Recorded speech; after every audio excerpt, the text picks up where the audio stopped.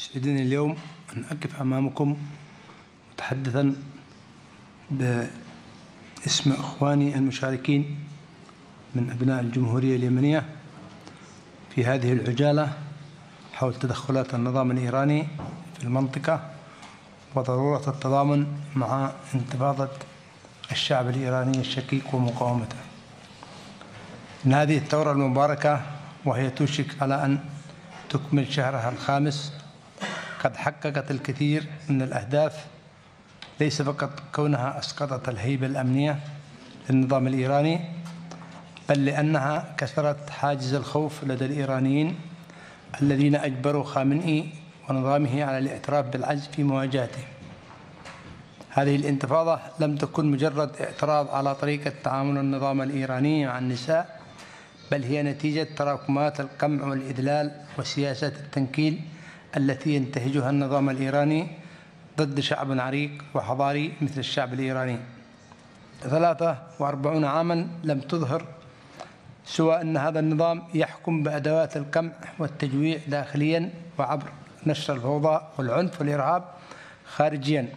ولهذا يظهر هذا النظام مثل كابوس مرعب يجثم على أرض بعد حضارة عريقة وشعب مجيد لقد حول النظام الإيراني لبنان إلى رماد متطاير وجعلت الموت هو العنوان في سوريا ولم يرى العراق سوى الفوضى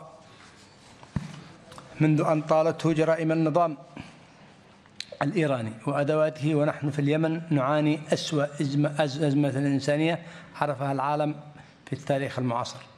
إنها أصابع إيران التي تلعب في العلن وتعبث بأمننا وتدمر السلام المحلي والعالمي وتقتل أبناء شعبها على الشاشات أمام مرأى ومسمع العالم. ومن هنا من هذا المنطلق يمكن القول إن هذا النظام هو العدو المشترك لجميع شعوب المنطقة بل ولكل أحرار العالم. ويجب اليوم على القوى الحرة والرائدة في كل هذه الدول أن تعمل معا للتخلص من هذا النظام وإسقاطه وأصبح هذا الدور واجبا على الشعب الإيراني وعلى منظمة مجاهدي الخلق التي يجب أن تسعى لبلورة وصنع واقع ثوري ينطلق في مشروعيته من رضا الشعب الإيراني وطموحاته وتطلعاته كما أن على كل شعوب المنطقة أن تواصل نضالها ضد أدوات إيران في المنطقة سواء حزب الله في لبنان أو أدوات القتل في سوريا أو الميليشيات الحوثية في اليمن أو أو أدواتها المدمرة في العراق. الأخوة والأخوات أننا على يقين أنه بسقوط النظام الإيراني سيسقط الحوثي في اليمن وحزب الله في لبنان والميليشيات التابعة للنظام في العراق وسوريا وبقية مرتزقة الولي الفقيه في البلدان العربية.